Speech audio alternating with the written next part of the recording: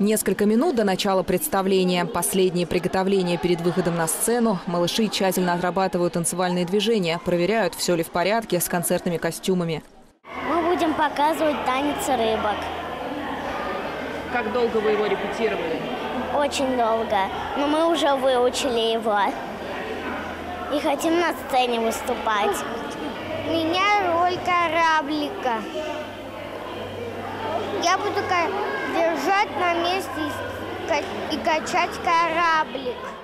За кулисами волнуются юные артисты, а в зрительном зале их родители, музыкальные руководители и воспитатели. Украшенная сцена и красочные наряды участников притягивают восторженные взгляды всех пришедших на фестиваль.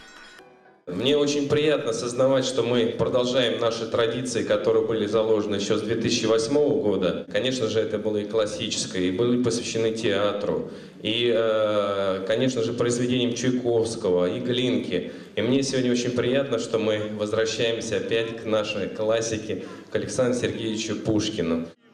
Вряд ли найдется человек, которому не была бы знакома сказка о царе Салтане. С детства и на всю жизнь входят в наше сознание ее персонажи. Царь Гвидон, Качиха с поварихой, сватьей бабой Бабарихой, царевна Лебедь и 33 богатыря с дядькой Черномором. В этом году музыкальная гостиная была приурочена к 185-летию произведения Александра Сергеевича Пушкина.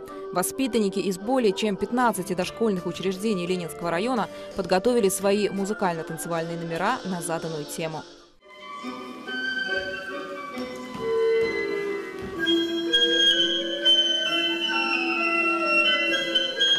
Подбирать номера очень сложно. Каждый садик э, готов предложить эм, свое участие.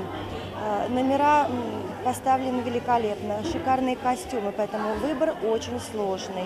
Ну, эм, сцены есть сцены, поэтому участвуют в гостиной лучшие из лучших.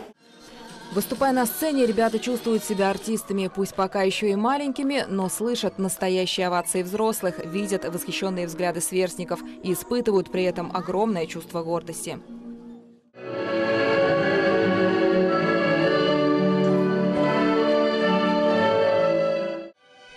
Как отмечают педагоги, в образовательном процессе музыкальному воспитанию отводится важное место. Именно на таких праздниках становятся очевидными успехи дошколят и результаты труда всех специалистов. Наталья Буслаева, Павел Игнатьев, Елена Кошелева, Видное ТВ.